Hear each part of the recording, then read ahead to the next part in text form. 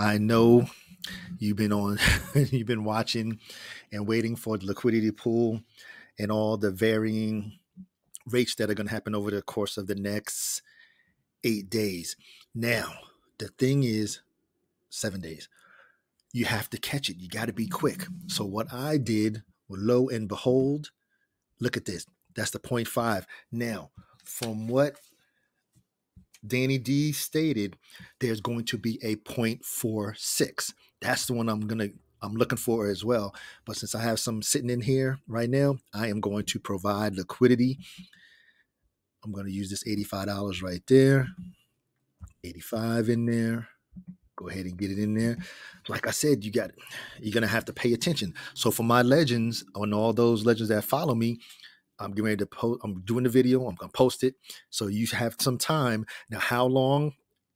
Because I don't. If they're going by the time frame or the time zone where Danny and them are over near the Philippines, it can end in an hour.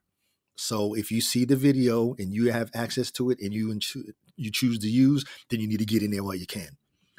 So if we can see right here, it just went in there long term, $85. Today's date, the 9th of February, 300 days at 164. So now what I'm gonna do, I'm gonna I'm gonna keep on waiting for the 0.46, build up some funds in there and load it up and get it. Again, this is the special. So I'm not going to do the whole long, long, long spool, but please remember that this is going to last for the next seven days. It's going to be varying rates. It'll never go lower than the, the posted, which is the normal 0.35. So always remember that. And remember that you get your funds back at the end of the stake. So on the last day, when the stake is over here, I'm going to give return the $85. Please overstand that. So I think that's all I needed to get out there. Yeah, because I don't want the video to long to run too long because I want to make sure that you get it. All right, legends, as always, it's for informational, educational purposes only. Never intended any type of financial advice. I'm not a financial advisor. I'm here just sharing, make sure my legends stay in the hunt. Because, like I said, now the 0.45 is really, listen, the 0.35 is really good, which is just the standard.